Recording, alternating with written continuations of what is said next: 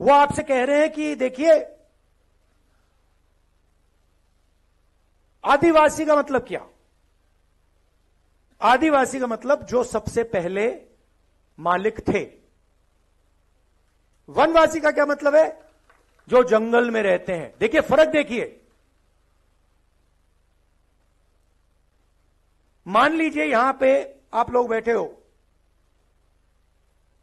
और ऑडिटोरियम में आप सबसे पहले आए।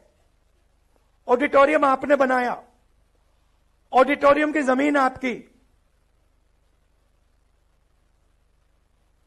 और मैंने आपसे कहा, भैया, आप वनवासी हो।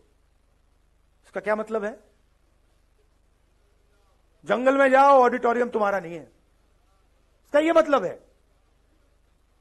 तो जब ये शब्द का प्रयोग करते हैं, आदिवासी, वनवासी ये सिर्फ़ एक शब्द नहीं है।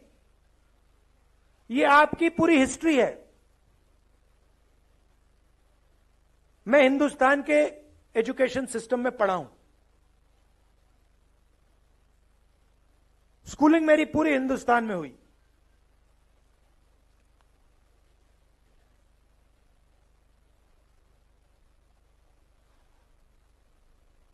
पूरा पूरा का पूरा जोड़ दीजिए।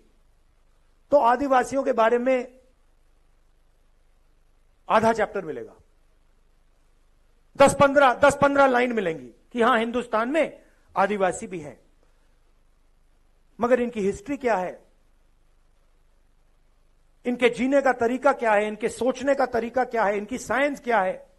इनकी पॉलिटिक्स क्या है? उसके बारे में कुछ नहीं।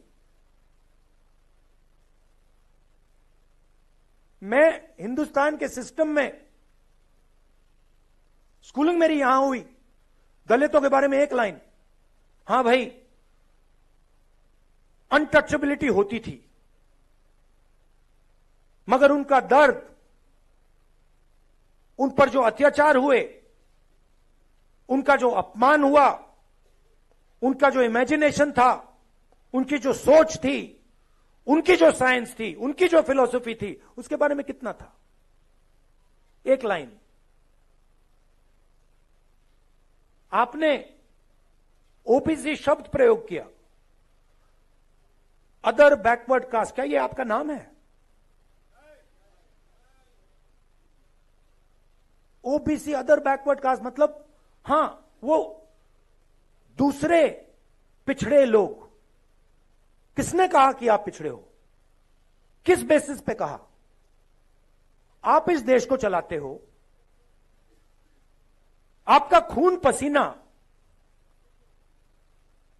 से यह देश चलता है। आपका जो हक है वो आपको मिलता नहीं है। आपकी हिस्ट्री कहाँ है?